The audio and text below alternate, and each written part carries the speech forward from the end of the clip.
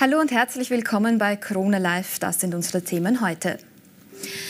Die, die, Bundespräsidentschaftswahl steht an. Am 9. Oktober ist es soweit. Die Österreicherinnen und Österreicher wählen den nächsten und vielleicht neuen Bundespräsidenten. Sieben Kandidaten könnten es realistisch auf den Stimmzettel schaffen.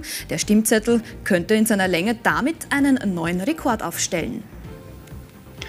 Dürren und Überschwemmungen bringen Hunger und Elend über Millionen von Menschen. Durch die Erderwärmung treten sie immer häufiger auf. Während das reiche Europa Ernteausfälle und Schäden durch Waldbrände kompensieren kann, bedrohen Dürrekatastrophen andernorts die Lebensgrundlagen vieler Menschen. Die durch eine Protestaktion im russischen Fernsehen bekannt gewordene TV-Journalistin Marina Ovsjanikova gerät offenbar verstärkt ins Visier der russischen Behörden. Gegen Ovsjanikova sind nun Ermittlungen wegen der Verbreitung von Falschinformationen über die russische Armee eingeleitet worden. Freudige Nachrichten aus dem Wiener Tiergarten Schönbrunn. Es gibt Nachwuchs bei den Mähnenrobben. Das Robbenbaby hat bereits seine ersten Schwimmversuche gemeinsam mit der Gruppe unternommen. Natürlich immer an der Seite seiner fürsorglichen Mutter. Wir haben davon ganz herzige Bilder für Sie die erste lesbische Frau in der Geschichte des Playboy und das auch auf dem Cover. Mit ihrer Fotostrecke in dem Herrenmagazin möchte die aus der zweiten Staffel der lesbischen RTL Dating Show Princess Charming bekannte Wahl-Hannoveranerin Hanna Sökeland ein Zeichen setzen.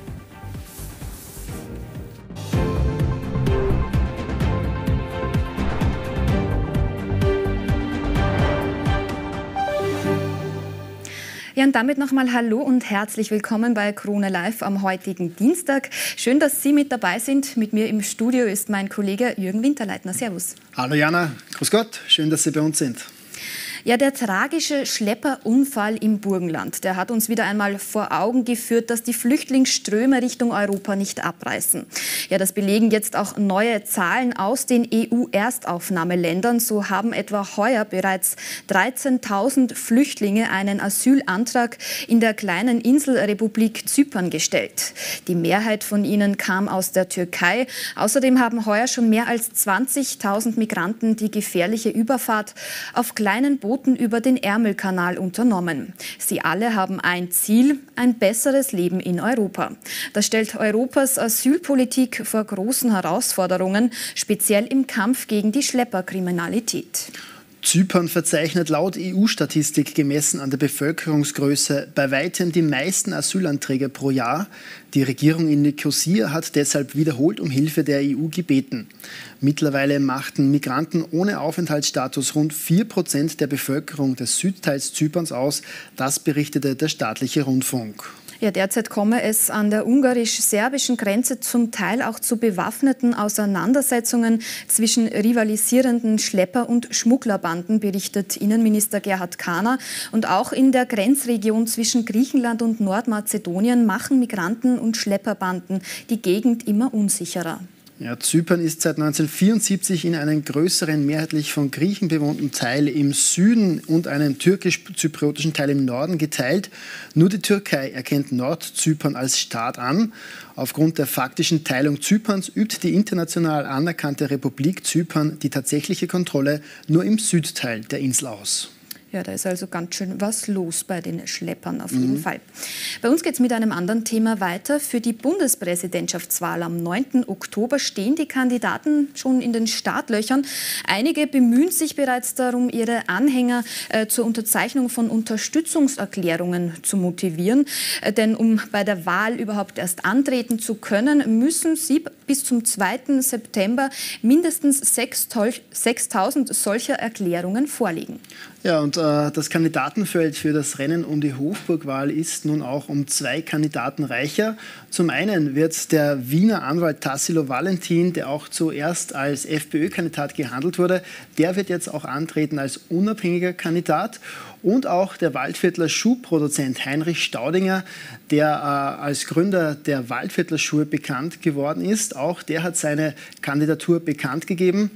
Valentin und auch Staudinger müssen jetzt eben die 6000 Unterstützungserklärungen sammeln, damit sie antreten können.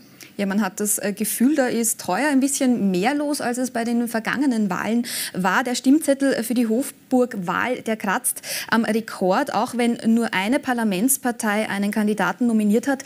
Sieben Kandidaten könnten es realistischerweise auf den Stimmzettel schaffen und insgesamt 23 Personen wollen äh, sich dieser Wahl dann auch stellen. Ja, sehr früh seine Kandidatur bekannt gegeben hat außerdem Dominik Vlatzny alias Marco Pogo von der Bierpartei. Die Impfgegnerpartei MFG Menschenfreiheit Grundrechte stellt mit Michael Brunner ihren Kandidaten und die FPÖ, die schickt Walter Rosenkranz ins Rennen um die Hofburg. Ja, aufgrund der zweiten Kandidatur von Van der Bellen werden SPÖ, ÖVP und NEOS keinen Kandidaten aufstellen. Und laut Prognosen und Umfragen äh, wird der amtierende Präsident wahrscheinlich mehr als 60 Prozent erreichen. Doch genau vorhersagen kann man das natürlich alles nicht. Die Wahlkampftouren, die laufen jetzt auf jeden Fall schon seit August an. Die erste Phase des Bundespräsidentschaftswahlkampfes hat gestartet. Hier entscheidet sich, wer ins Rennen geht und wer als Kandidat zugelassen wird. Denn wer bei der Bundespräsidentschaftswahl am 9. Oktober antreten will, der braucht 6000 Unterstützungserklärungen. Seit Dienstag werden diese gesammelt. Alle Kandidaten brauchen diese Unterschriften, auch der Amtsinhaber. Insgesamt wollen 20 Personen auf den Stimmzettel stehen, unter ihnen natürlich auch der amtierende Bundespräsident Alexander Van der Bellen. Dieser hat am Dienstag schon fleißig Unterschriften auf der Marie-Hilfer-Straße gesammelt. Aber nicht nur der amtierende Bundespräsident lässt sich wieder für die Wahl im Oktober aufstellen. Auch Walter Rosenkranz von der FPÖ hat sich dieses Jahr für die Bundespräsidentschaftswahl aufstellen lassen und startet seinen Wahlkampf in Kärnten. Der Kandidat der FPÖ versucht vor allem mit Kritik an der Regierung zu punkten und stellt auch deren Entlassung in den Raum. Ins höchste Amt im Staat will auch der Chef der Bierpartei Dominik Vlatzny, besser bekannt unter seinem Künstlernamen Marco Pogo. Er hat es mit seiner Bierpartei schon bei früheren Wahlen auf den Stimmzettel geschafft.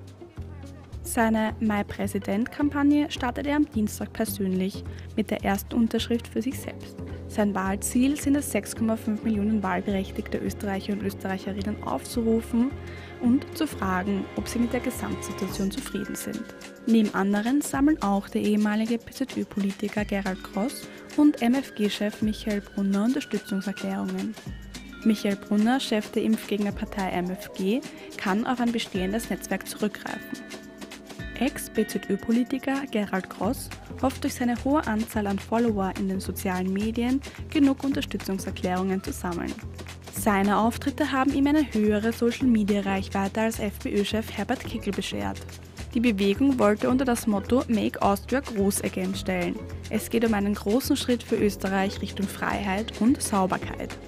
Unter den weiteren Kandidaten, die es auf den Stimmzettel schaffen wollen, ist Robert Marschall, der bei der EU-Wahl 2014 als Spitzenkandidat mit der Liste EU Stop fast 78.000 Wähler ansprach.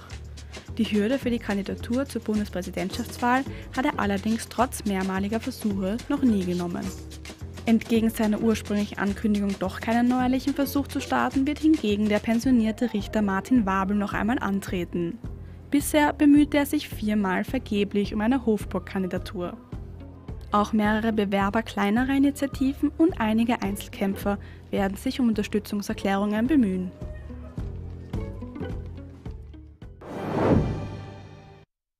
Ja, die Zustimmungswerte der Parteien, also SPÖ, FPÖ und ÖVP, die haben sich in den letzten Wochen, Monaten eigentlich rasant verändert. Ja, also auf Platz 1, von, auf Platz 3, also ganz unterschiedlich. Äh, interessant, bei den Neos, da hat sich nichts getan. Sie haben weder Stimmen dazu gewonnen, noch haben sie Stimmen verloren. Gerade letzte Woche sorgte dann Neos-Politiker Lorca mit einem provozierenden Posting für Aufsehen.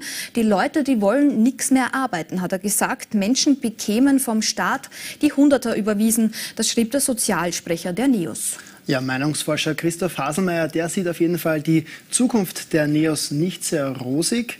Es müssten Antworten her. Ja, was für Antworten wird Parteichefin Beate Meinl-Reisinger parat haben? Äh, am Mittwoch, also morgen um 20.15 Uhr, sehen Sie das Sommergespräch auf Krone TV.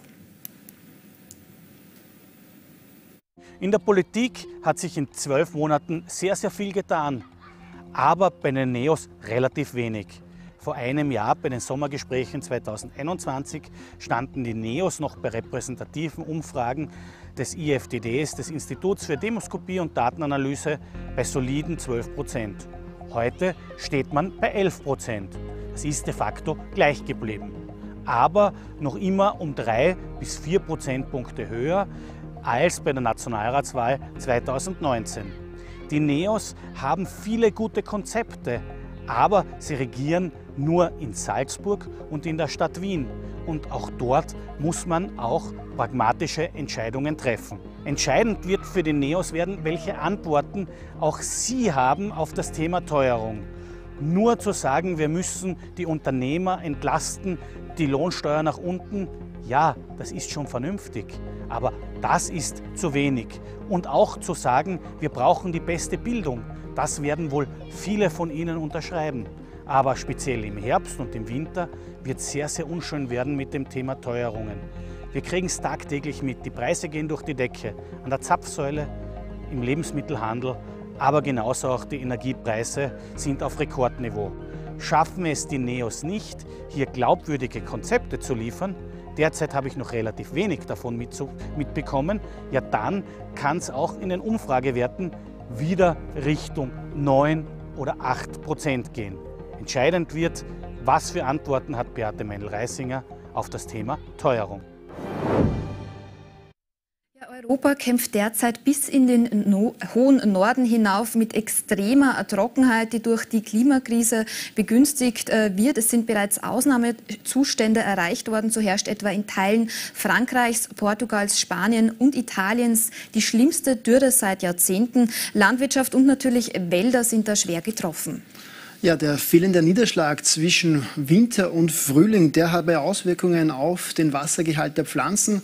Die Pflanzen zum Beispiel in Spanien und in Portugal hatten Mühe, sich mit Wasser anzureichern. Und das betrifft nun auch äh, Pflanzen im italienischen Tiefland, aber auch in Westfrankreich, Süd- und Mittelfrankreich, aber auch in Mitteldeutschland. Und das hat nun auch die ersten Folgen. So sind bis Mitte Juni in Spanien rund 73.000 Hektar Erde verbrannt. Doch nicht nur die Tiere sind von den äh, Hitzewellen und Dürren beeinflusst. Die Wasserversorgung für die Landwirtschaft und die Menschen könnte bei anhaltender Dürre auch gefährdet sein. Ausgetrocknete Flussbetten sind keine Einzelheit. Auch Teile des Loire-Flusses in Frankreich und Teile der Donau sind ausgetrocknet. Bricht einmal diese Wasserbasis für die großen Flüsse, beispielsweise durch weitere Gletscherschmelze hierzulande weg, dann droht sehr niedriger Flusspegel, äh, ein sehr niedriger niedriger Flusspegel und das ist natürlich für viele, viele Gebiete sehr gefährlich. Waldbrände suchen weiterhin Europa heim. Letztes Opfer ist die Region Covilla in Portugal, in der 10.500 Hektar Wald abgebrannt sind. Mehr als 1500 Feuerwehrmänner sind im Einsatz, um die Flammen einzudämmen, die auch Teile des Nationalparks Serra da Estrela verwüsten. Auch Frankreich und Spanien haben mit ihren eigenen Waldbränden zu kämpfen. Laut einem Bericht der UN aus dem Februar wird die Chance auf extreme Feuer um 30 Prozent in den nächsten 28 Jahren steigen. Grund dafür sind Dürren und Hitzewellen, die durch die menschengemachte Klimaerwärmung immer häufiger werden. So ist zum Beispiel die Quelle der Themse in Großbritannien so ausgedorrt wie nie zuvor. Sie trocknet zwar in den meisten Sommern aus, das dürre Flussbett reicht aber dieses Jahr deutlich weiter ins Land hinein. Die daraus resultierende geringere Wassertiefe hat verheerende Auswirkungen auf die Tierwelt und vor allem die Fische.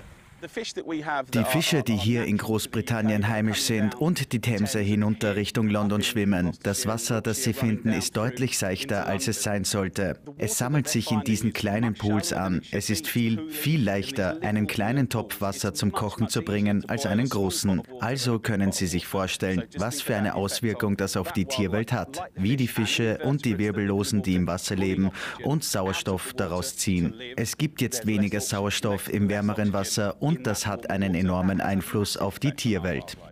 Doch nicht nur die Tiere sind von den Hitzewellen und Dürren beeinflusst. Die Wasserversorgung für die Landwirtschaft und die Menschen könnte bei anhaltender Dürre auch gefährdet sein. In Zukunft werden wir mehr Dürren und mehr Überflutungen sehen. Also werden wir Veränderungen spüren, wie wir unser Wasser in Großbritannien verwenden und aufbewahren werden. Und es ist unheimlich wichtig, dass wir aus dieser Dürre lernen, weil wie man sieht, sind wir nicht bereit für Dürren. Wir steuern bereits jetzt auf Wasserbeschränkungen zu. Wir haben keine Infrastruktur, um mit diesen Problemen klarzukommen. Wir haben überall undichte Stellen und wir haben nicht genug Wasser für die Landwirtschaft. Also müssen wir relativ schnell etwas unternehmen, um die Infrastruktur auf ein akzeptables Niveau zu bekommen. Denn wir sind jetzt nicht bereit und schon gar nicht für das, was durch die Klimaerwärmung in Zukunft passieren wird.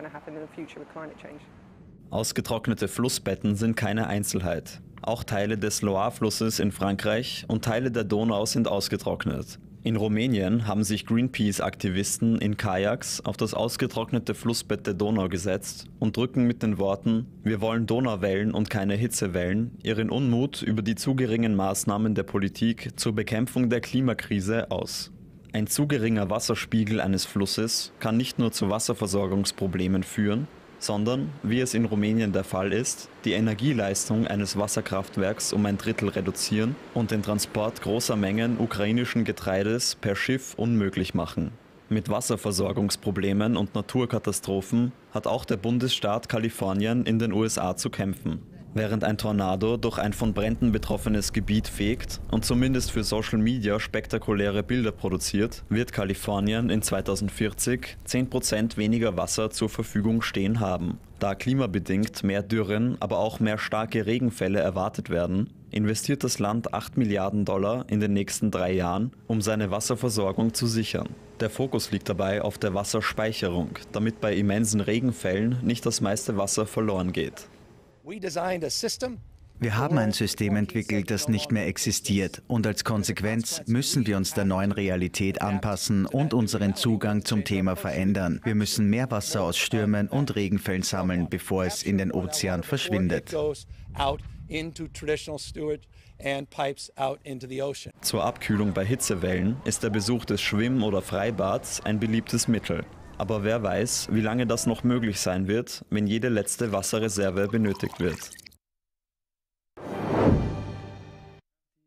Immer größer werdenden Trockenheitsperioden, die sind natürlich auch bei uns in Österreich ein Thema, obwohl es jetzt äh, wieder Niederschläge gegeben hat in den letzten Tagen.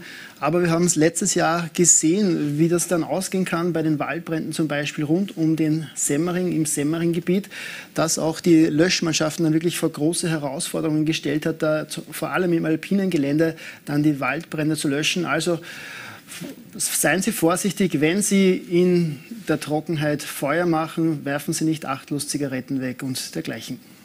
Ja, bei uns geht es jetzt anders weiter. Wir erinnern uns zurück, sie wurde bekannt, als sie im Staatsfernsehen äh, gegen den Ukraine-Krieg protestierte. Nun ist die russische Journalistin Marina Ovsjanikova unter Hausarrest gestellt worden. Ja, die Anklage wirft ihr die Verbreitung von Falschinformationen vor. Der Hausarrest, der könnte laut Gericht rund zwei Monate andauern. Ja, Mitte Juli hat die Demonstrantin wieder demonstriert, dieses Mal im Kreml und zwar mit einem Plakat. Und auf diesem Plakat, da ist gestanden, äh, der russische Präsident Putin sei ein Mörder, seine Soldaten sind Faschisten und 352 Kinder sollen dabei in der Ukraine beim Krieg schon getötet worden sein. Und wie viele Kinder müssten noch getötet werden, das stand eben auf diesem Plakat. Ja, es gibt in Russland nicht die großen Protestkundgebungen, sondern einzelne kleine Aktionen, zum Beispiel von Journalisten, Studenten, äh, die sich gegen den Krieg in der Ukraine quasi auflehnen. Der Widerstand, der ist in Russland sehr gefährlich, aber er ist da. Die durch ihren Live-Protest gegen den russischen Militäreinsatz in der Ukraine bekannt gewordene Fernsehjournalistin Marina Ovsjanikova wird unter Hausarrest gestellt. Dieser gelte bis 9. Oktober, teilte ein Gericht in Moskau gestern mit. Der 44-jährigen Ovsjanikova, die gestern festgenommen worden war, drohen wegen Diskreditierung der Armee bis zu zehn Jahre Haft. Sie wurde am 10. August in ihrer Moskauer Wohnung verhaftet, nachdem zehn Beamte des Ermittlungsausschusses um 6 Uhr morgens mehrere Telefone und einen Computer beschlagnahmt hatten. Die russischen Behörden machen sie für eine Demonstrantin vor dem Kreml am 15. Juli verantwortlich, bei der sie Wladimir Putin als Mörder bezeichnete. Seit Ende Juli wurde die zweifache Mutter bereits zweimal wegen Diskreditierung der Armee zu Geldstrafen verurteilt. Die Urteile bezogen sich insbesondere auf Veröffentlichungen in Online-Netzwerken, in denen die Journalistin die Militäroffensive in der Ukraine kritisierte. International bekannt wurde Ovsjanikova, als sie Mitte März während einer Live-Sendung ihres Arbeitgebers, eine kremltreuen Senders, hinter der Nachrichtensprecherin auftauchte und ein gegen den Militäreinsatz in der Ukraine gerichtetes Protestplakat offen in die Kamera hielt. Die russischen Behörden, die bereits seit Jahren gegen Regierungskritiker vorgehen, verschärften seit Beginn der Militäroffensive ihr strafrechtliches Vorgehen noch einmal deutlich. Ein Jahr nach der Machtübernahme der Taliban befindet sich das Land natürlich im Chaos in Afghanistan. Äh, am 15. August 2021 es sind in Afghanistan, in Kabul, äh, die Taliban einmarschiert. Ähm, das Land befindet sich seitdem in einer Krise. Die Lebensbedingungen, die haben sich verschlechtert, verschlechtert vor allem natürlich für Frauen. Ja, 20 Jahre lang haben jetzt äh, die USA Afghanistan besetzt. Damals natürlich nach dem Terroranschlag auf das World Trade Center in New York. Auf der Suche nach Osama bin Laden waren jetzt eben 20 Jahre lang die USA vor Ort und gestern vor einem Jahr sind die relativ rasch dann abgezogen und haben das Feld bzw. das Land besser gesagt, äh, den Taliban überlassen. Die haben anfangs gesagt, dass sie ihre Herrschaft viel gemäßigter angehen wollen. Aber das ist eben effektiv nicht der Fall. Gerade in den Städten ist das Leben eben noch schlimmer geworden, vor allem für Frauen. Und im ganzen Land herrscht eine große Hungersnot. Gefragt danach, was die Taliban gegen diesen Hunger tun würden, da sagen sie, ja, das ist ein Überbleibsel der Regierungen, die eben vor den Taliban äh, am äh, am Zug waren. Also die sehen sich da nicht wirklich in der Verantwortung dafür. Ja. Wie es jetzt wirklich anschaut, das schauen wir uns jetzt im nächsten Beitrag an. Wir versichern allen, dass sich niemand Sorgen machen muss. Das Islamische Emirat ist hier, um für Sicherheit zu sorgen und die Würde der Menschen zu schützen. Dafür arbeiten wir Tag und Nacht. So Gott will, wird bald eine Regierung verkündet. Alle Regierungsstellen werden wieder öffnen. Die Banken und die Wirtschaft werden in Bewegung kommen. Das Land wird Schritte in Richtung Wohlstand machen, weit weg von Krieg und Unsicherheit. Die Menschen werden zu ihrem normalen Leben zurückkehren. مشکلات امنیتی به زندگی عادی خود برخواهد so ein Sprecher der Taliban im August 2021. Die Taliban nehmen praktisch kampflos am 15. August 2021 die Hauptstadt Kabul ein und kommen in Afghanistan an die Macht. Die Übernahme kündigt sich bereits Jahre zuvor an und wird durch die Verkündung des Rückzugs der amerikanischen Truppen beschleunigt. Ein Jahr später, Gewalt, Unterdrückung, Verfolgung von Minderheiten, willkürliche Festnahmen und Hinrichtungen. Das zeigt der Bericht von Amnesty International über die Herrschaft der Taliban seit ihrer Machtergreifung. Afghanistan befindet sich in einer Menschenrechtskrise. Laut UN-Schätzungen sind bis Juni diesen Jahres immer noch 820.000 Menschen innerhalb des Landes auf der Flucht vor dem Regime.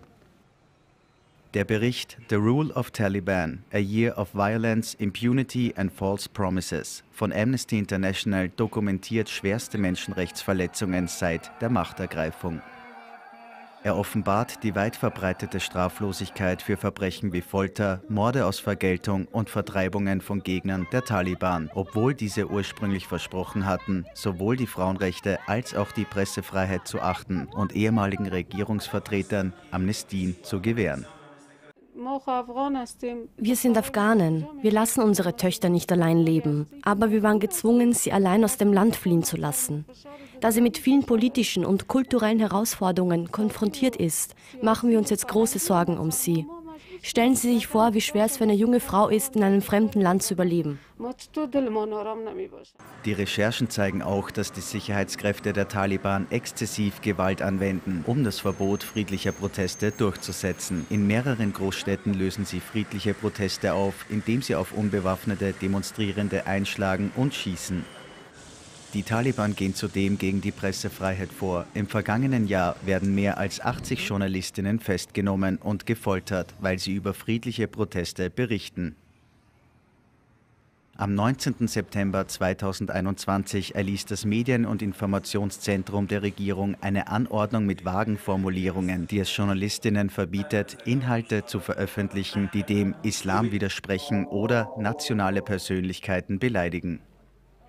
Seit der Machtübernahme durch die Taliban sind Frauen zunehmend Gewalt ausgesetzt. Dutzende von Frauen werden festgenommen und gefoltert, weil sie sich inmitten zunehmender Einschränkungen friedlich für ihre Rechte einsetzen.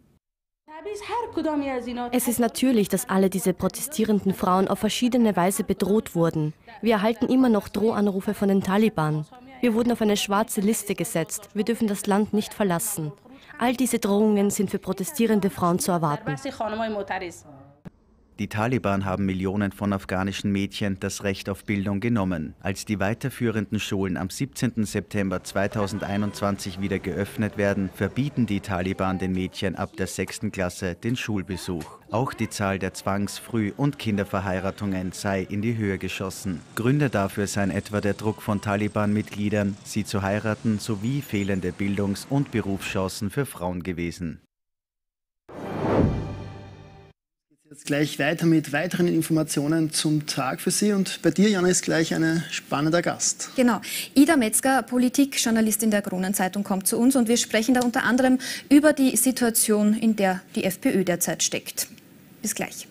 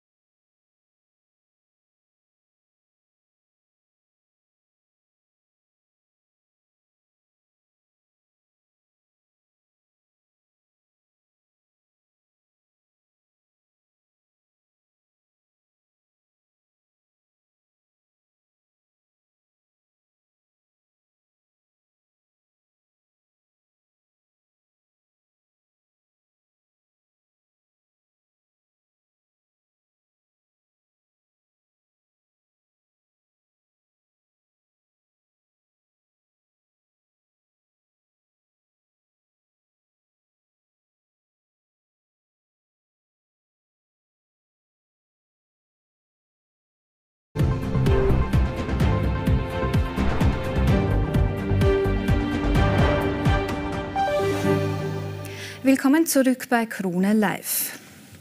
Der ehemalige FPÖ-Abgeordnete Hans-Jörg Jenewein wurde wenige Tage nach seinem Parteiaustritt reglos aufgefunden. Im Hintergrund schwelt ein Konflikt in der Freiheitlichen Partei. Welche Rolle spielt Parteichef Herbert Kickl in diesem Konflikt? Und können diese Machtkämpfe zu einer Spaltung der FPÖ führen? Ja, darüber spreche ich jetzt mit der Innenpolitikjournalistin der Krone, Ida Metzger. Herzlich willkommen. Hallo. Von der FPÖ ist man ja einiges äh, gewohnt. Diese Querelen sind aber jetzt doch wieder etwas anderes. Zum ersten Mal seit langer Zeit steht jetzt auch Herbert Kickel äh, im Visier. Also für ihn wird es jetzt ein bisschen unangenehm. Aber ist das jetzt alles wirklich eine Anti-FPÖ-Schmutzkübel-Kampagne, so wie es die Partei selbst bezeichnet? Nein, das ist, ist, es natürlich nicht. Die FPÖ sucht sich dann immer einen Außenfeind, um vom eigentlichen Problem abzulenken. Und das sind natürlich in dem Fall die Medien oder ganz gerne auch wie jetzt in dem Fall die Kronenzeitung weil die natürlich landesweit am bekanntesten ist von allen Tageszeitungen. Aber natürlich ist es ein FPÖ-Konflikt, weil kein Journalist hat diese Anzeigen, diese Anonymen auf dem Handy des Herrn Jenewein geschrieben, um die es in Wahrheit geht. Und wer hat die, wer hat die also geschrieben hat es wahrscheinlich der Herr Jenewein, sagt die Staatsanwaltschaft.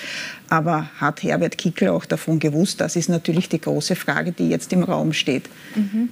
Sie haben gerade von diesen anonymen Anzeigen äh, gesprochen. Äh, die richten sich gegen wichtige Persönlichkeiten der Wiener FPÖ. Ermittler bezeichnen es als lebensfremd, dass das also nicht von Hans-Jörg Jenewein selbst äh, stammen könnte, also vermutlich von einem Mann aus der eigenen Reihe. Ähm, musste sich Kickel daraufhin dann von Jenewein distanzieren und da nicht mit reingezogen werden? Ja, er hat natürlich relativ schnell den Abstand von ihm gesucht. Er hat dann auch noch am Samstag, also wenige Stunden bevor dann der Suizidversuch passiert ist, eine Aussendung an die Funktionäre gemacht, wo er sich ganz klar von Hans-Jörg Jenewein distanziert hat, hat gesagt, das ist nicht mein Mann fürs Grobe oder meine rechte Hand, wie er gerne bezeichnet wird, sondern das ist ein Mitarbeiter von vielen. Also er hat sich sehr schnell distanziert, was natürlich in einer Partei, wo Treue und Kameradschaft große Werte sind, unter den Funktionären, äh, sagen wir mal, nicht gut kommt.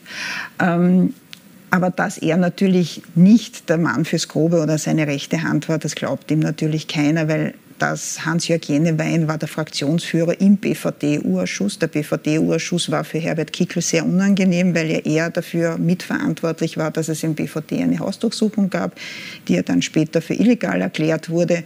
Und natürlich der war sein Frontmann, der hat versucht, allen Schaden von Herbert Kickl damals im BVD-U-Ausschuss also quasi wegzuhalten.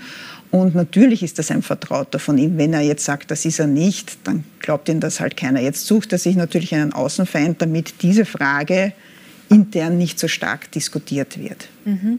Und die Anzeige, also wenn man jetzt betrachtet, was man mit dieser Anzeige denn ähm, machen wollte oder wohin das führen sollte, die bezieht sich auf die Spesenkausa und da geht es ja noch zurück auf die Zeiten von Heinz-Christian Strache. Was hat dann jetzt die Wiener FPÖ damit zu tun? Naja, die Wiener FPÖ hat erstens war sehr erfolgreich, das heißt, sie kriegt sehr viele Parteienfördergelder. Das ist das eine. Da war natürlich sehr viel Geld da. Das andere war eben, dass eben äh, Heinz-Christian Strache offensichtlich, wenn es stimmt, das sind ja alles noch Ermittlungen, die noch nicht ausrecherchiert sind, ähm, äh, teilweise der Spesen eben dann kassiert hat, die ihm vielleicht nicht zugestanden sind, das wissen wir ja noch nicht, weil die Staatsanwaltschaft noch nicht am Ende ihrer Ermittlungen ist. Und als dann natürlich das, also quasi als erstes ist Ibiza passiert, dann der Spesenskandal und dann hat natürlich versucht Herbert Kickl alle, die Strache nahe sind, in der FPÖ Wien wegzubekommen. Das ist nicht geglückt. Und da haben natürlich die Jenewein-Geschwister, da gehört ja auch die Dagmar Balakovic, ist ja die Schwester von Hans-Jörg Jenewein, waren sozusagen die Speerspitze von, äh, von Kickel in der Wiener FPÖ, die strachenahen Funktionäre wegzubekommen, was aber nicht geglückt ist. Und deswegen glaubt man, dass eben diese Anzeigen ein Teil dieses Spiels waren, die strachenahen Freunde, kann man sagen, die Strache-Freunde aus der Partei wegzubekommen. Mhm. Ja, und die Informationen, die man auf äh, Smartphones findet, die haben in der österreichischen Innenpolitik ja immer wieder für Wirbel und für Ermittlungen gesorgt. Hat man jetzt auf dem Handy, Handy von Jener Wein noch etwas anderes gefunden? Ja, man hat, also das Handy ist ihm ja wegen einer anderen Causa abgenommen worden. Und zwar, da gibt es eben diesen Ex-Geheimdienstmenschen Egisto Ott und der steht unter Verdacht, dass er an österreichische Abgeordnete, darunter auch möglicherweise an den Hans-Jörg Jenewein, brisante Informationen verkauft hat. Deswegen gab es überhaupt die Hausdurchsuchung. Und das ist wieder mal so ein sogenannter Zufallsfund, so wie beim Thomas Schmidt-Handy. Dann hat man sich dieses Handy angeschaut, hat gesehen, dass der... Ähm, Hans-Jörg Jenewein auch seine Parteikollegen Telefonate aufgenommen hat. Da gibt es ein Telefonat mit dem Herrn Czank, der hat damals die ganzen Vereine, äh, war die Geschäftsführung, hat sie abgewickelt. Und da erzählt der Herr Czank zum Beispiel, dass der äh, Herbert Kickel bei einem Verein, der heißt Austria Emotion, bei der Konzeption dabei war, dass der Name auch von ihm stammt. Also sagen wir mal so, Hans-Jörg Jenewein hat sehr komische Methoden ange, äh, angewendet, weil ich weiß nicht, ob mich jetzt jeder einen Kollegen quasi das Telefonat mit aufnimmt. Und das sorgt jetzt natürlich für Unruhe, weil jeder glaubt, naja, war der Mastermind eigentlich Kickel dahinter, weil man würde jetzt auch nicht glauben, wenn beim Herrn Gerald Fleischmann am Handy anzeigen, der ein Kurzvertrauter war, ein sehr enger Kurzvertrauter war, mehr als 20 Anzeigen gefunden wären gegen ÖVP-Mitglieder, dass davon der Sebastian Kurz nichts gewusst hätte davon. Und so ähnlich ist halt jetzt das Spiel mit Herbert Kickl. Mhm. Also auch Telefonate wurden äh, abgehört. Das ist ja alles doch sehr ungewöhnlich ähm, unter Parteifreunden, wie man da sagt. Aber warum hätte das jene Wein jetzt von sich aus tun sollen? Hat er auch eine Motivation dahinter gehabt? Politischer Aufstieg zum Beispiel? Nein, das, nein, nein, nein. Also Hans-Jörg Jenewein ist 48 und das war immer der klassische Mann in der zweiten Reihe. deswegen ist er ja auch nicht so bekannt. Aber es gibt eben in einer Partei welche, die wollen an die vorderste Front und es gibt welche, die im Hintergrund lieber die Strategen spielen. Dazu hat Hans-Jörg Jenewein gehört. Ähm, Nein, also wenn, dann hat er das, weil er eben ein, ein Kickel-Vertrauter war, das im Auftrag des Kickels gemacht. Oder das kann auch sein. Man hat ja versucht, den äh, Dominik Nepp auszutauschen gegen die Dagmar Belakovic, der ja wiederum die Schwester von Jenewein ist. Das hat ja nicht funktioniert. Das könnte vielleicht eine Motivation sein, dass das auch ein mitgespielt hat, vielleicht eine kleine Rache, weil dieser Führungswechsel in der Wiener FPÖ nicht funktioniert hat. Äh, wie dünn ist denn jetzt die Luft für Herbert Kickl als äh, Parteichef? Naja, die Reihen haben sich sehr schnell geschlossen. Da muss man aber auch sagen, dass die FPÖ ein bisschen von der Struktur anders aufgestellt ist als eine SPÖ oder eine ÖVP. Wenn man sich da mit dem Parteichef anlegt in einer SPÖ oder ÖVP, dann hat man immer die Möglichkeit, dass man in eine Kammer, in einen Bund etc. sich einmal zurückzieht und dort einen Job bekommt oder halt äh, bei SPÖ-nahen oder ÖVP-nahen vielleicht Unternehmen. Das gibt es bei der FPÖ nicht. Bei der FPÖ gibt es nur die Partei und da ist die Funktionserhaltung das Wichtigste. Und jetzt haben Sie natürlich, es stehen wichtige Wahlen an. Es kommt die Hofburgwahl, es kommt die Tirolwahl. Jetzt haben Sie einmal die Reihen geschlossen. Und man wird aber sehen, wie die Erfolge sind bei der Hofburgwahl und bei der Tirolwahl. Wenn da keine, groß, wenn da keine guten Erfolge kommen, dann glaube ich, wird es für Herbert Kickl noch einmal eng. Er hat ja auch Mitte September den Bundesparteitag, wo er als Bundesparteichef gewählt werden muss. Mal schauen, wie gut das Ergebnis dort ist. Also es sind noch ein paar Prüfsteine, die er vor sich hat. Aber ich würde mal sagen, er ist angeschlagen und wer weiß, was auf dem Handy noch gefunden wird. Also es ist schon er hat schon einmal lockerer gehabt. Seine Machtbasis ist der Parlamentsclub, der steht fix hinter ihm. Und ich höre nur aus den Bundesländern, wenn er weg also wenn er abgelöst werden soll, dann muss er auch als Parlamentsclub gehen. Also es macht niemand den Parteichef, wenn Herbert Kickl daneben der Parlamentsclubchef ist. Das haben wir schon mal bei Norbert Hofer und Herbert Kickl gehabt, hat der Norbert Hofer den Kürzeren gezogen. Das macht sicher keiner. Und das wird natürlich schwierig sein, ihn dort abzulösen, weil er hat ja ein parlamentarisches Mandat. Ne? Mhm. Also man kann sagen, von Parteispaltung darf man jetzt noch nicht reden, kann man jetzt auch noch lange nicht reden. Äh, vorerst ist mal wieder alles Paletti bei den Blauen also mal oberflächlich ja, im Hintergrund rumort es natürlich, jeder spricht hinter vorgehaltener Hand, es traut sich halt niemand außer Andreas Mölzer, der nichts mehr zu verlieren hat, weil er eigentlich schon in der Pension hat, was öffentlich zu sagen, weil das eben in der FPÖ ein bisschen anders ist, da hat man wenig Ausweichmöglichkeiten. Wenn du den Job in der Partei verlierst, bist du draußen. Mhm. Jetzt steht äh, für die FPÖ eine wichtige Wahl an. Sie haben jetzt schon zwei Wahlen angesprochen. Äh, die Bundespräsidentenwahl unter anderem, äh, zu der sie Walter Rosenkranz aufgestellt hat. Kann man mit so internen Querelen jetzt einen Wahlkampf führen?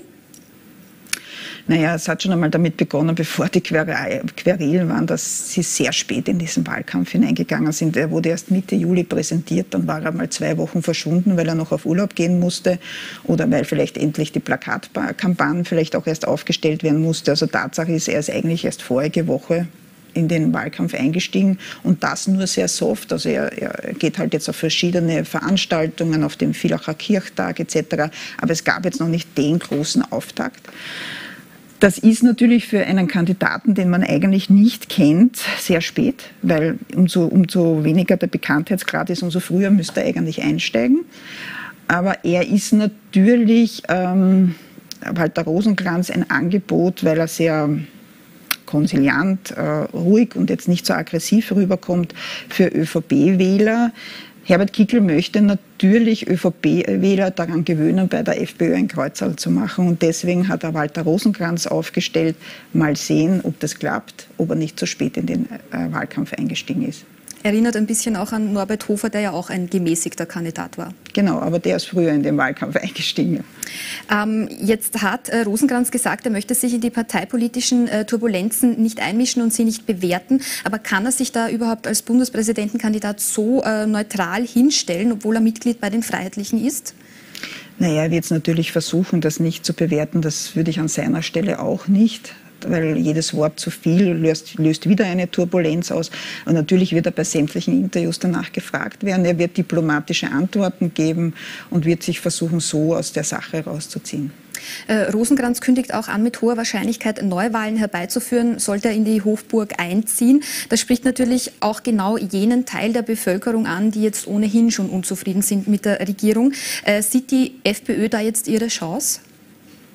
Naja, ihre Chance, er muss es, also ich meine, die 6000 Stimmen so bis am 2. September zusammenzubekommen, wird nicht schwer sein, um auf den Stimmzettel zu kommen für die FPÖ. Aber er muss erst einmal den Alexander van der Bellen in die Stichwahl zwingen und das wird natürlich nicht so leicht sein. Mhm. Wie, wie schätzen Sie da die Chancen ein für Rosenkranz? Also er muss auf jeden Fall, äh, damit es als Erfolg gewertet wird, aus Sicht der FPÖ mehr Stimmen bekommen, als die Partei derzeit in den Umfragen hat. Also die liegt ja derzeit bei 21 Prozent. Das wird nicht reichen. Also da wird es als, als, quasi als Misserfolg gewertet. Aber dass er ihm jetzt so viel abnimmt, und da müssen ja die anderen äh, Kandidaten auch noch sehr viele Prozente machen, dass sich für eine Stichwahl ausgeht, das glaube ich ehrlich gesagt nicht. Also, aber vielleicht liege ich auch vollkommen falsch, aber ich glaube es nicht. Ja. Äh, wie wichtig ist denn im Vergleich zu dieser Bundespräsidentenwahl dann die Landtagswahl in Tirol äh, jetzt im September beziehungsweise die Wahl in Niederösterreich dann Anfang des nächsten Jahres? Ist das wichtiger für die Stimmung in der FPÖ oder ist das auch nur so ein kleiner Faktor, der da mitspielt in den Ländern? Die Wahl ist natürlich wichtig für Herbert Kickel beide, weil natürlich die ÖVP zerbröselt derzeit. Und interessanterweise hat sich zwar die FPÖ sagen wir mal, stabilisiert von den Umfragen, liegt bei 20, 21 Prozent, aber eigentlich am meisten profitieren tut die SPÖ davon. Und eigentlich könnte die FPÖ auch von der Krise der ÖVP profitieren, weil es haben ja viele man hat immer von den Leihstimmen geredet, die Sebastian Kurz bekommen hat von der FPÖ, weil er eben diesen harten Migrationskurs gefahren ist. Eigentlich könnte die FPÖ auch mehr davon profitieren. Man wundert sich halt, warum das nicht passiert. Meiner Meinung nach passiert es halt, passiert es deswegen nicht, weil Herbert Kickel einen zu aggressiven Kurs, sei es in der Teuerung, sei es in der Corona, äh, in der Corona-Zeit gefahren ist. Aber die FPÖ, die hat ja jetzt schon an Zustimmung äh, dazu gewonnen, zumindest in den letzten Wochen. Ähm, wir haben jetzt auch viele Krisen, die gleichzeitig wirken. Aber auf niedrigem Niveau. Auf niedrigem Niveau, aber immerhin. Ähm, Teuerungsspirale, Energieknappheit, Corona-Pandemie und eine Angst natürlich vor dem ganzen Kriegsgeschehen. Viele Menschen sind dann nicht mehr zufrieden mit der Politik. Ist das jetzt auch so ein Grund, weshalb äh, die FPÖ auf dem Vormarsch sein könnte? Also den Vormarsch sehe ich nicht. Ich sehe, ich sehe wirklich, dass die, die daraus profitieren, jetzt in erster Linie die SPÖ, sie liegt bei 30 Prozent und die FPÖ liegt bei 20, 21 Prozent. Die könnten aber auch schon bei 24, 25 liegen, wenn sie es wirklich gut nützen. Und das sehe ich eben derzeit nicht. Also es ist wirklich die SPÖ, die davon profitiert, die sich alte FPÖ-Wähler, also die einmal von der SPÖ zur FPÖ gewechselt sind, weil sie frustriert waren, holen sie sich jetzt derzeit wieder zurück, weil sie vielleicht das seriösere Angebot Angebot haben, als es Herbert Kickl ausstrahlt. Mhm. Die FPÖ hat sich äh, in erster Linie vor allem zur Corona-Pandemie und zur Impfpflicht in den letzten Jahren sehr klar positioniert. Äh, inwiefern könnte denn die impfkritische Partei MFG eine potenzielle Konkurrenz für die FPÖ werden? Die werden Ihnen sicher auch der Herr Brunner bei der Bundespräsidentschaftswahl, wobei um, es, um den ist es noch ganz ruhig, äh, einige Prozente abnehmen. Aber ich glaube nicht, dass sie zu einer großen Konkurrenz werden, weil, wie man sieht, egal wo die antreten, die machen zwar dann viele Prozente, aber dann klappt es nicht, dass sie Gemeinderatsmandate besetzen, weil sie zu wenige Funktionäre noch haben. Also die haben einfach noch nicht so eine Struktur aufgebaut, dass die wirklich seriöse Politik machen könnten, können. Und das, glaube ich, wird dann auch früher oder später bei den Menschen sich durchschlagen oder durchsprechen, dass dem so ist. Mhm. Äh, FPÖ-Chef Herbert Kickel, der hat am Sonntag an Kardinal Christoph Schönborn appelliert, angesichts der extremen Teuerungswelle die Zahlung der Kirchenbeiträge für unbestimmte Zeit auszusetzen. Will man jetzt mit sowas auf Stimmfang gehen? Ja, derzeit finde ich es überhaupt etwas übertrieben, was da alles für Ideen im Raum stehen. Also Herbert Kickl will, dass der Kirchenbeitrag ausgesetzt wird. Mario Kunasek will, dass die Autobahnvignette jetzt äh, gratis nächstes Jahr ist. Also es ist irgendwie, hat man das Gefühl, jetzt ist, muss plötzlich alles, darf nichts mehr kosten. Das geht natürlich auch nicht. Natürlich kann sich die Kirche überlegen, ja, äh, ob man das reduziert. Die Kirche lebt ja auch davon, äh, weil die Teuerungswelle so groß ist. Also es ist, keine, es ist keine Überlegung, die jetzt quasi unrealistisch ist, aber natürlich ist es jetzt natürlich populär, jeden auszurichten, er soll das reduzieren und der nächste soll das reduzieren. Braucht es da eigentlich eh schon ein, ein Konzept, weil sonst geht es ja komplett durcheinander. Mhm.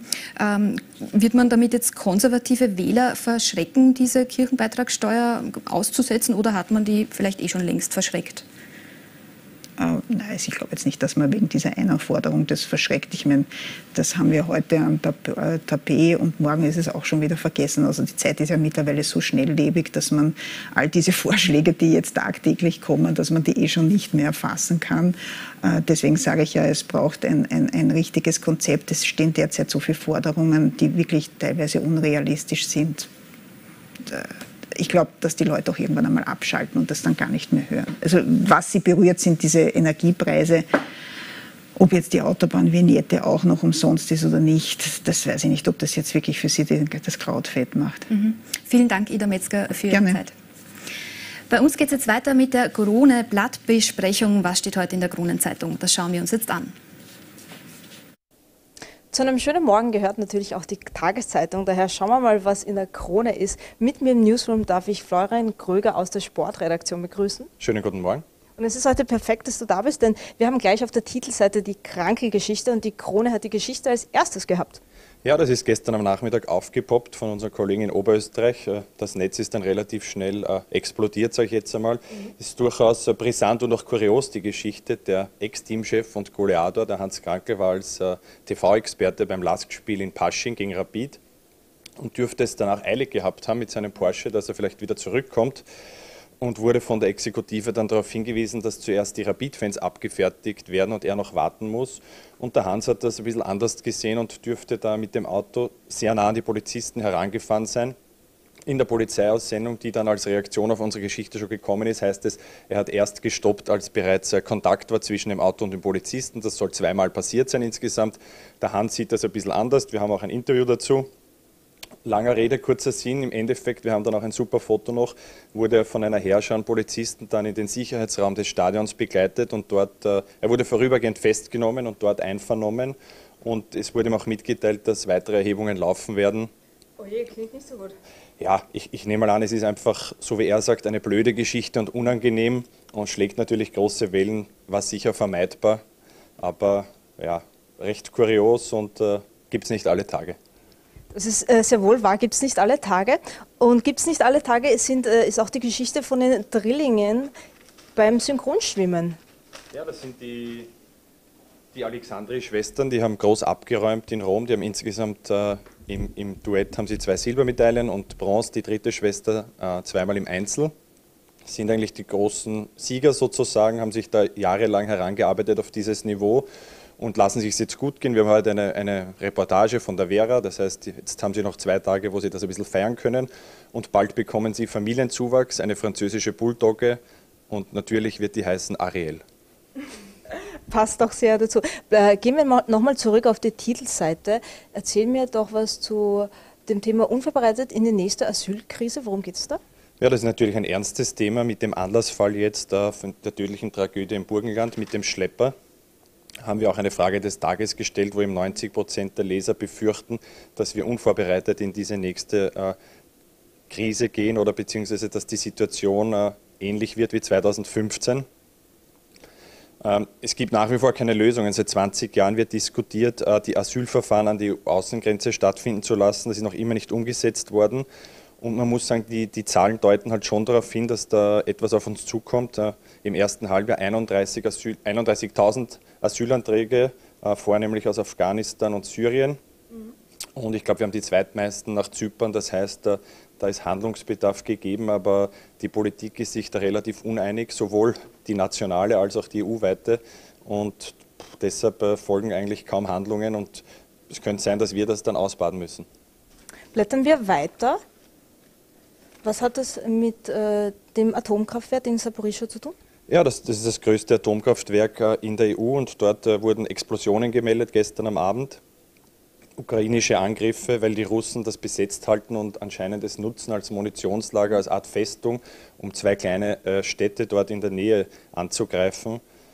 Und ja, gegenseitige Vorwürfe der beiden Kriegsparteien, aber in Wahrheit eine bedrohliche Situation, wenn es da im Atomkraftwerk Explosionen gibt. Ich glaube, äh, es sollen jetzt irgendwelche Expertengruppen wieder entsandt werden, aber sehr langatmig und ich glaube relativ gefährlich und brisant. Muss man schauen, wie sich das weiterentwickelt.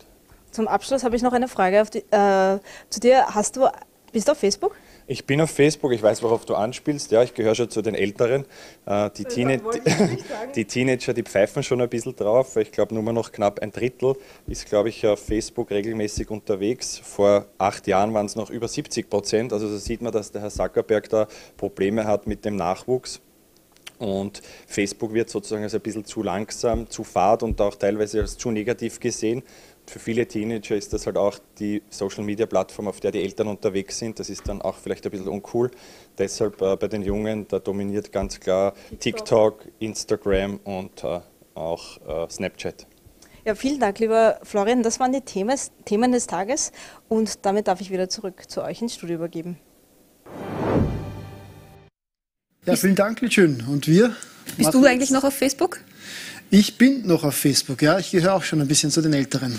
Okay, wir geben jetzt in eine kurze Werbeunterbrechung und dann geht es weiter mit spannenden anderen Meldungen. Bleiben Sie dran. Bis gleich.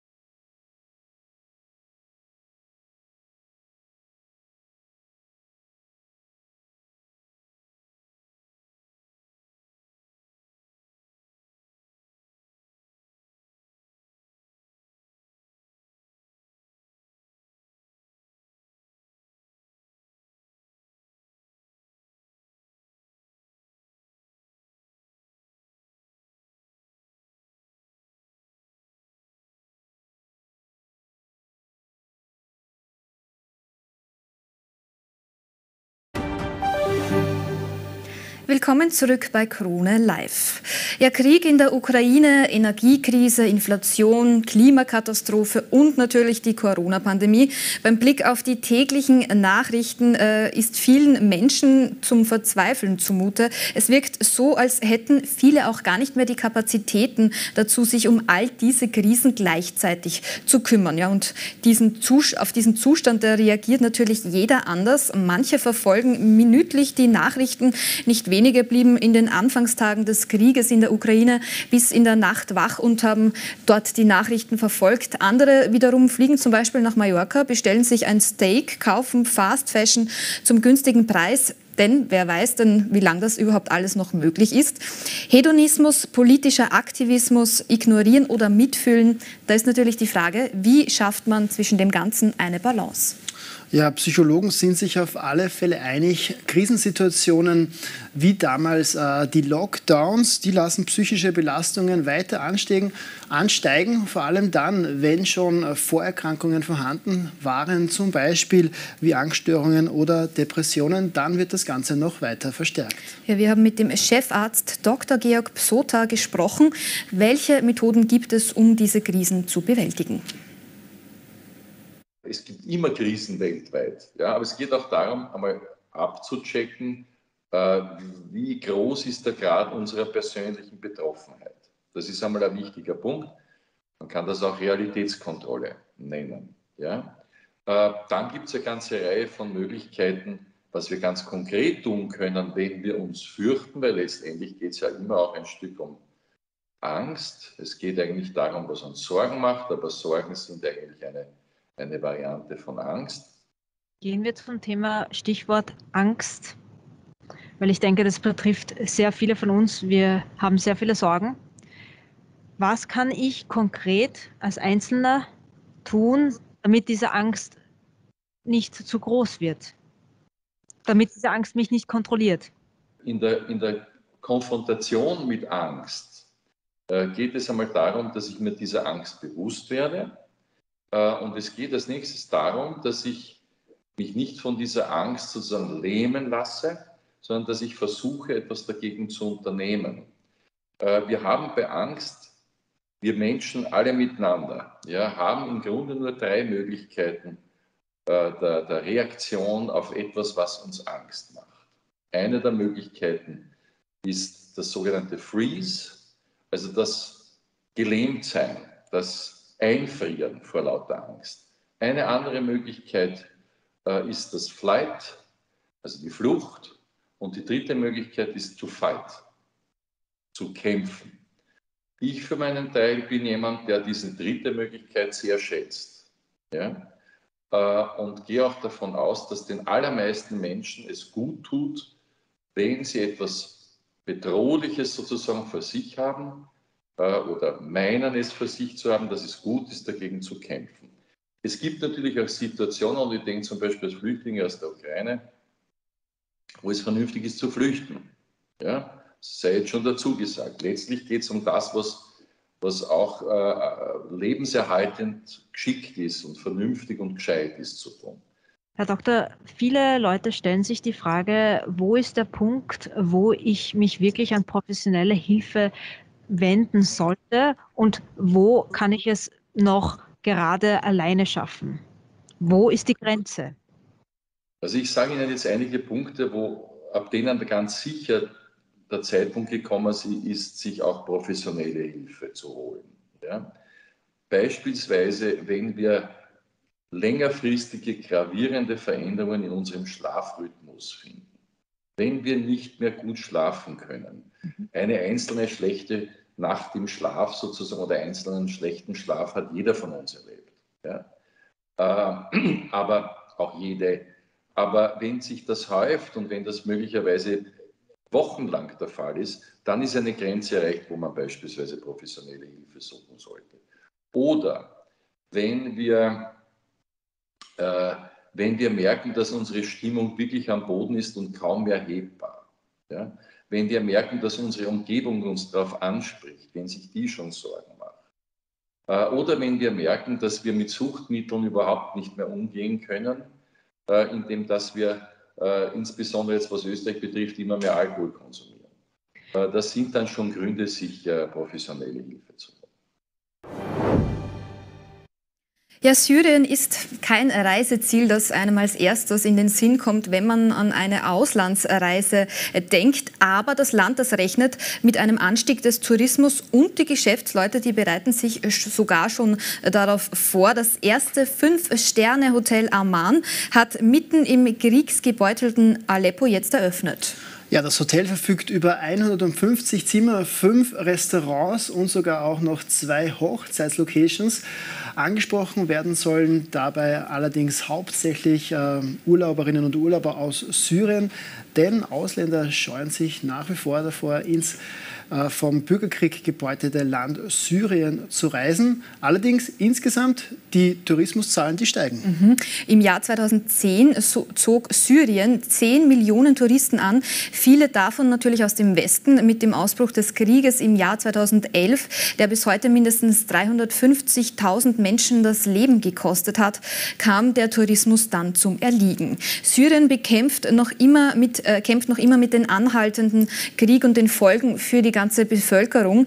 Die Förderung des Tourismus in dem Land ist eine große Herausforderung, aber einige Hotelbesitzer sind bereit, diese Herausforderung anzunehmen.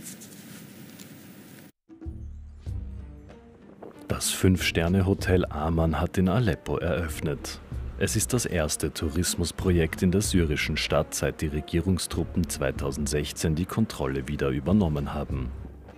Das Hotel im Stadtteil Hamdania verfügt über 150 Zimmer und Suiten sowie zwei Hochzeitssäle, fünf Restaurants, einen Swimmingpool, einen Fitnessclub und Tagungsräume. Munib Karason ist Manager im Aman Hotel. Während der Belagerung von Aleppo lag das Hotel direkt an der Frontlinie. Dann wurde es komplett saniert, um den modernen Anforderungen des Tourismus gerecht zu werden. Neue Möbel und Annehmlichkeiten wurden hinzugefügt, um mit den neuesten Entwicklungen der Hotelbranche auf der ganzen Welt Schritt zu halten. Das Hotel richtet sich an in- und ausländische Touristen. Natürlich sind wir hauptsächlich auf inländische Touristen angewiesen, aber wir sind bereit, ausländische Touristen zu empfangen. Wir verfügen über 150 Zimmer und Suiten, die mit den modernsten Unterhaltungsmitteln der Hotelbranche ausgestattet sind. Die Investition in das Hotel soll auch der lokalen Wirtschaft zugutekommen. Was die Beschäftigungsmöglichkeiten betrifft, so bieten wir 500 Arbeitsplätze, insbesondere für Jugendliche, und wir bieten auch Arbeitsplätze für Kriegsverletzte. Die Jugendlichen haben hier sechs Monate lang bis zur Eröffnung trainiert. Aleppo hat die schlimmsten Auswirkungen des Bürgerkriegs erlebt und viele alte Gebäude wurden in Schutt und Asche gelegt. Die Einheimischen glauben, dass die Rückkehr der Tourismusindustrie mit Projekten wie dem Amann ein dringend benötigter Schritt nach vorn im Wiederaufbauprozess sein wird.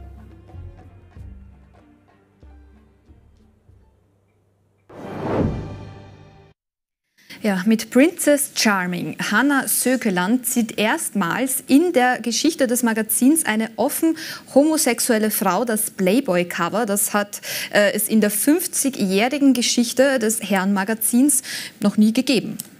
Ja, die 28-Jährige erklärte gegenüber dem Playboy, dass es äh, für sie selbst äh, eine große eine große Auszeichnung ist, da auf dem Cover zu sein und es ermögliche ihr, äh, mit gesellschaftlichen Normen zu brechen und mehr Respekt für die LGBTQ-Community einzuberaumen, gerade im Bereich Liebe und Partnerschaft. Ja, darüber hinaus will die diesjährige Princess Charming mit ihren Aktfotos andere Frauen ermutigen, selbst nackt äh, vor die Kamera zu treten. Sie sagt, ich wünsche mir, dass mehr Frauen ein Nacktshooting machen. Man arbeitet viel mit sich und seinem Körper, ist viel mehr ist viel mehr an sich und wenn man das sieht, wie schön das Ergebnis ist, dann ist es ein unglaubliches Gefühl, schwärmt Zökeland. Ja, sie glaubt, dass Nacktfotos viel zum Selbstbewusstsein und Wohlbefinden von einer Frau äh, beitragen kann. Ja, schöne Bilder. Sprechen die dich auch an? Puh, also ich finde es mutig, dass man das macht. Ähm Ja. Mehr, glaube ich, sage ich dazu jetzt Wir kommen nicht. jetzt zu einer weiteren hübschen Dame, nämlich zu Selena Gomez. So ist es. Äh, die gehört zu den beliebtesten Promis auf TikTok. Äh, immer wieder macht sie Sängerin auf der Plattform auf ein wichtiges Thema, äh, wie zum Beispiel Body Positivity aufmerksam. Die Body Positivity Bewegung, es geht ja eigentlich darum, dass man sich wohl in seinem Körper fühlt und da passt jetzt auch das Playboy-Model von vorhin dazu. Die Bewegung, die stammt eigentlich aus dem Fat Acceptance Movement, das in den 1960er Jahren in den USA entstanden ist. Ein sehr politisches Thema, wo Gleichbehandlung mehrgewichtiger Menschen, soziale Gerechtigkeit, Diversität und intersektionale Antidiskriminierung eine große Rolle spielen. Ja, Ziele der Bewegung sind äh, das Bekämpfen unrealistischer Schönheitsideale und die Stärkung des Selbstwertgefühls jedes Einzelnen. Dabei ist die Grundidee der Bewegung, dass sich Personen im eigenen Körper wohlfühlen und diesen akzeptieren lernen.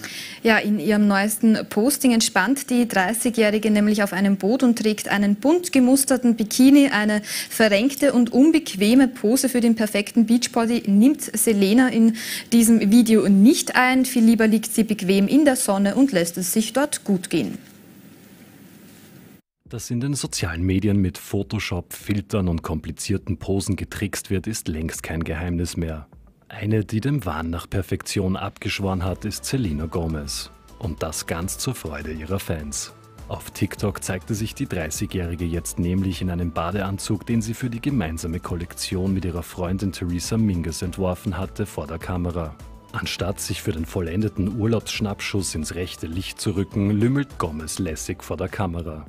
Dass sich dabei ihr Bäuchlein ein wenig wölbt, das ist der ehemaligen Disney Beauty sichtlich egal. Das macht Gomez mit der Tonspur, zu der sie ihre Lippen bewegt, noch einmal deutlich. Da ist nämlich zu hören, wie jemand sagt, ein anderer wolle seinen Bauch einziehen. Der Konter folgt aufs Wort. Ich ziehe ihn nicht ein, verdammt. Echte Bäuche kommen verflucht nochmal zurück, okay? Während Gomez diesen Satz lippensynchron mitsprach, fuhr sie sich zur Bestätigung noch einmal über ihre Körpermitte. Ganze 9,7 Millionen Mal wurde der Clip in nur wenigen Stunden angeschaut. In den Kommentaren jubelten die Fans über die tolle Botschaft, die Selena Gomez damit vermittelt. Du sorgst dafür, dass ich mich in meiner eigenen Haut wohlfühle, schrieb eine Anhängerin der Schauspielerin. Du bist vermutlich das beste Vorbild, um ehrlich zu sein, fügte ein weiterer hinzu. Body Positivity, so erfrischend, freute sich noch einer. Vier Jahre lang kehrte Selena Gomez den sozialen Medien den Rücken, bevor sie ihr Comeback wagte. Jetzt macht sich der einstige Kinderstar vor allem für Themen wie psychische Gesundheit und ein gesundes Körperbild stark. Schon vor wenigen Monaten nutzte sie ihre Reichweite auf TikTok, um sich gegen Bodyshaming zur Wehr zu setzen. Kritikern erklärte sie, dass es sich nicht lohne, auf ihre Lieblingsspeise zu verzichten. Denn die Leute werden sowieso über mein Gewicht meckern, auch wenn sie dünn sei. Ich bin perfekt, so wie ich bin, stellte Gomez damals klar.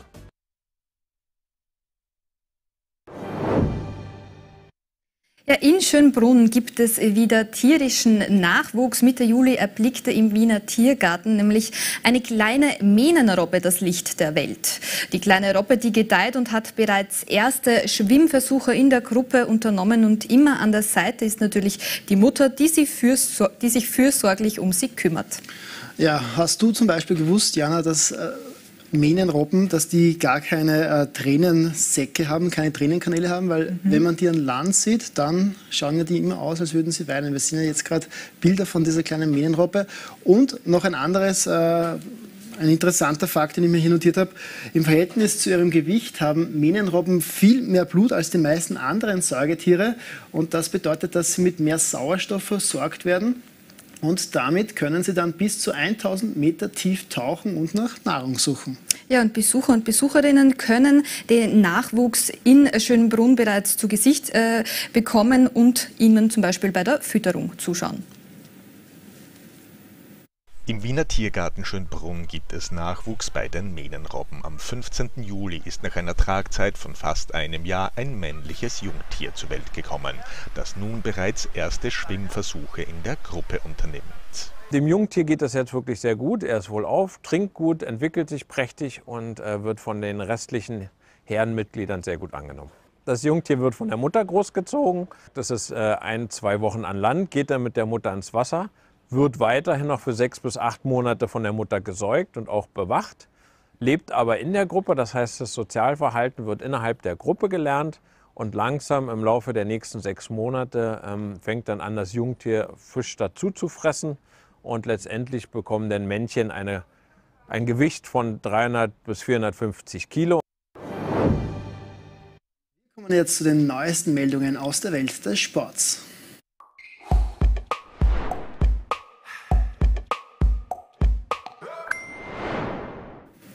Bei mir im Studio zu Gast ist jetzt Krone TV Sportexpertin Michaela Mayer. Willkommen. Hallo, danke.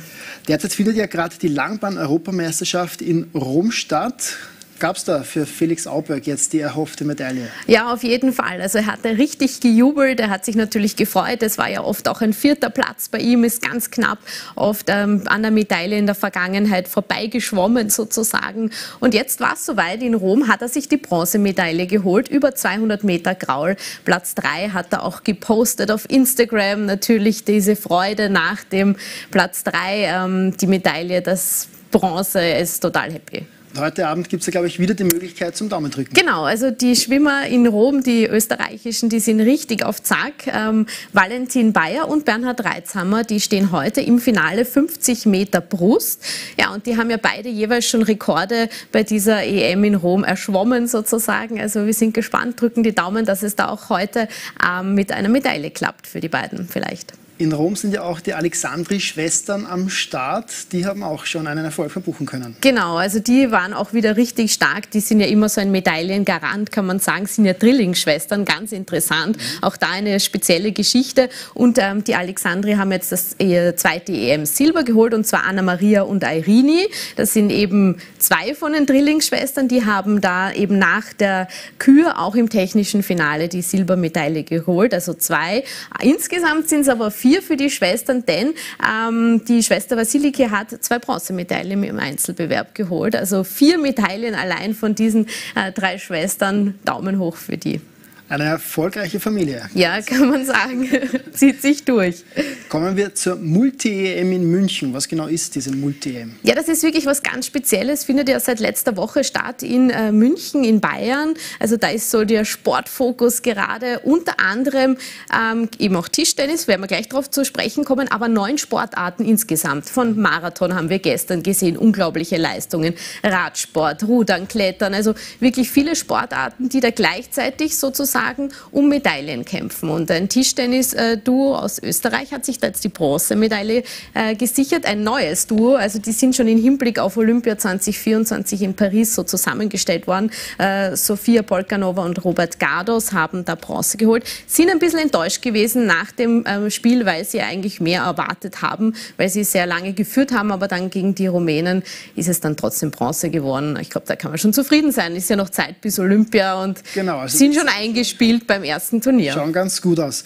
Susanne Waller, Waller hat, mhm. steht ja auch nach einem starken Vorlauf heute im 400 Meter Halbfinale. Was kann man sich davon von ihr erwarten? Genau, die 26-jährige Oberösterreicherin hat da im Vorlauf schon ordentlich abgeliefert. War, glaube ich, ihre äh, zweitbeste Karrierezeit sogar, 51,73 die Läuferin. Und eben heute ist das 400 Meter Halbfinale, ist ja ihre Spezialdisziplin, dieser Bewerb. Und da drückt man natürlich die Daumen. Auf Krone.at ist man natürlich immer auch live dabei dabei, kann sowohl ähm, die EM in München, diese Multi-EM, als auch die Schwimm-EM in Rom verfolgen und hoffen auf viele Europameisterschaftsmedaillen noch. Ja. Ja, und dann ein ganz brisantes Thema, das ja auch schon in der Kronenzeitung heute äh, thematisiert worden ist, Hans Krankel, der Goliathor. Der hat äh, ein starkes Stück geliefert, wie man hört. Der soll einen Polizisten angefahren haben. Was war da genau? Ja, also es ist eine ganz skurrile Geschichte. Die Kronenzeitung hat ja auch dazu das Interview geführt mit Hans Krankel, eine Fußballikone in Österreich. Und da gab es natürlich Aufschrei, was war da los. Es war offenbar nach dem Bundesligaspiel zwischen dem LASK und Rapid, wo er der LASK 2 zu 1 äh, gewonnen hat. Und er ist ja als TV-Experte im Einsatz mhm. und ist nach dem Spiel offenbar von dem Parkplatz abgefahren und wurde aber von der Polizei aufgehalten, weil die zuerst den äh, Bus mit den Rapid-Fans mhm. vorbeileiten wollen. Das muss ja immer auch auch koordiniert werden nach so großen Spielen. Und Hans Krankel hat aber offenbar laut dieser Aussage ähm, nicht ein Problem gesehen. Er hat gesagt, es war freie Fahrt und er hat jetzt nicht gesehen, warum er da jetzt nicht abfahren darf. Ja, die Polizei hat das offenbar anders gesehen, hat ihn aufgehalten und hat ihn offenbar auch kurzzeitig festgenommen, weil er offenbar einen Polizisten ähm, berührt haben soll ja, mit dem Auto. Ja, jetzt auch Bilder durch die österreichischen Genau. Medien, wo man sieht, Wo dass abgeführt Hans Krankel wird, von, ja. ich glaube, sechs Ja. oder sogar acht Mhm. Polizisten abgeführt worden ist. Hat das noch ein rechtliches Nachspiel, glaubst du? Ja, also die Ermittlungen laufen jetzt. Die Polizei sagt die- diese Sache, Hans Krankel ein bisschen, spricht auch von einer blöden Geschichte, war sicher eine unangenehme Sache auch für ihn, dass er in dieser Hinsicht ähm, da mit der Polizei zu tun hat. Aber die Ermittlungen laufen weiter. Ja. Werden wir schauen, wo das noch hinführt. Jetzt hat sich ja auch Österreichs Jahrhundertfußballer Herbert Prohaska auf seine Seite gestellt und hat gesagt, ja, hätte genauso auch ihm passieren können. Dummes Es ist, ja, es ist ja aufgeheizt, die Spielung nach so einem Spiel natürlich. Mhm.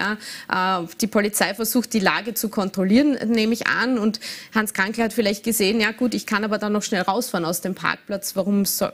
Aber ich war nicht dabei. Ähm, die Aussage von der Polizei ist das, vom Mhm. Hans Krankel ist das. Wir sind gespannt, was da...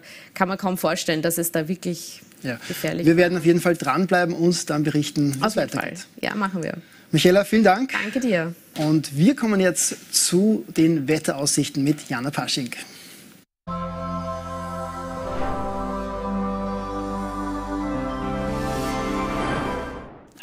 Ja, wieder überall sehr warm und sonnig zeigt sich der heutige Tag, aber es ist nicht ungetrübt. Werfen wir mal einen Blick auf unsere 360-Grad-Kamera. Da sieht man einen nahezu wolkenlosen Himmel. In der Früh und am Vormittag ziehen vor allem im Nordosten noch ein paar Schauer und Gewitter durch. Im Tagesverlauf verlagern sich diese Schauer und Gewitter in den Südosten. Oft bleiben die Quellwolken aber harmlos. Bei teils lebhaften Westwind liegen die Höchstwerte zwischen 14 Grad in Bregenz in der Früh und 32 Grad am Nachmittag in Eisenstadt. Wenn wir jetzt einen Blick werfen auf die kommenden Tage. Am Morgen, am Mittwoch, da wird es nämlich auch wieder sonnig und heiß. Meist ist der Himmel wolkenlos. Erst im Tagesverlauf entstehen ein paar Quellwolken. Im äußersten Westen, also im Vorarlberg in, und in Nordtirol, entstehen ein paar Regenschauer und Gewitter. Teilweise weht lebhafter, föhniger Süd- bis Ostwind. Die Höchstwerte, die erreichen 19 bis 34 Grad. Am Donnerstag ist der genaue Ablauf noch sehr unsicher. Zeitweise ist es sonnig. Die meisten Schauer und Gewitter dürften im Bergland entstehen. Nach Osten zu bleibt es hingegen sonnig und heiß. Dort gibt es einen kräftigeren Südföhn bis zu 35 Grad haben wir da am Donnerstag. Und am Freitag, da beendet eine Front mit Schauern und Gewittern in der Westhälfte Österreichs die Hitze. Dabei können sehr große Regenmengen zu Problemen führen. Weiter im Osten hingegen ist es noch sonnig. Im Lauf des Tages entstehen hier aber teils heftige Schauer und Gewitter. Ja, auch die Windböen, die können da kräftiger ausfallen, vor allem wenn es äh, in Gewitternähe ist. Bis zu 27 Grad sind dann die Maxi-Werte. Und am Wochenende dürfte die Hitze überall vorläufig zumindest vorbei sein. Die Temperaturen, die sind aber weiterhin sommerlich, wenn auch meist unter 30 Grad. Im östlichen Flachland, da können ein paar Schauer und Gewitter niedergehen. Auch sonst kann das Wochenende eher gewitterträchtig werden, aber ein bisschen Sonne geht sich dazwischen sicher auch aus. Heiß wird's wieder. Heiß wird's und eine bunte Me- Wettermischung in den Ja, ich kommenden muss sagen, ich habe nicht immer so eine Freude, wenn es unter der Woche schön ist und dann zum Wochenende hin so bewölkt, regnerisch. Ist kein gutes Timing, nein? Wir sind jetzt gleich wieder zurück für Sie mit weiteren Informationen zum Tag nach einer kurzen Werbeunterbrechung. Bleiben Sie dran. Bis gleich.